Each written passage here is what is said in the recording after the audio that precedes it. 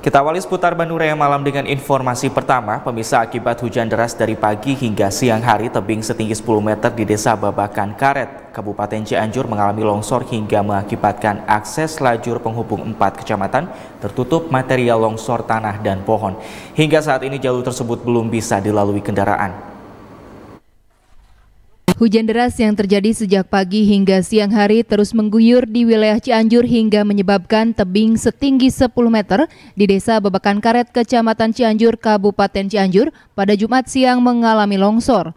Longsor yang menutupi seluruh badan jalan tersebut mengakibatkan akses penghubung empat kecamatan, yakni Kecamatan Cianjur, Kecamatan Karangtengah, Kecamatan Mande, dan Kecamatan Cugenang lumpuh tidak bisa dilewati. Selain tertutup material longsoran tanah, di jalur tersebut pun tertutup sejumlah pohon yang tumbang.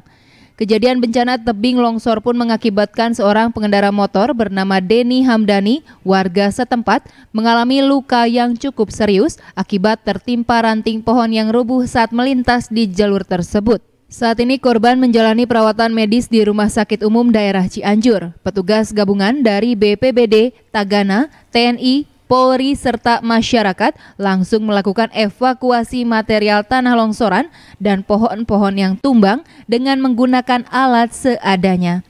Jalur dari kedua arah tersebut sementara belum bisa dilalui oleh kendaraan dan masih dilakukan evakuasi oleh petugas gabungan. Alhamdulillah sekarang tidak menggunakan alat berat, e, kami menggunakan manual saja, hanya cangkul dan singkup dan kita bergotong royong saja begitu.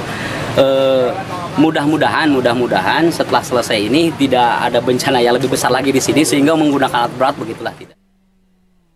Musibah longsor tersebut diakibatkan derasnya hujan yang terjadi dari pagi hingga siang hari yang menyebabkan tebing longsor.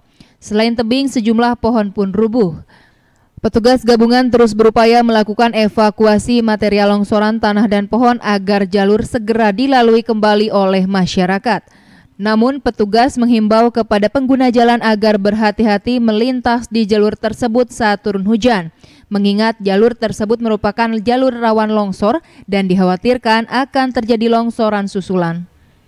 Heri Setiawan, Bandung TV.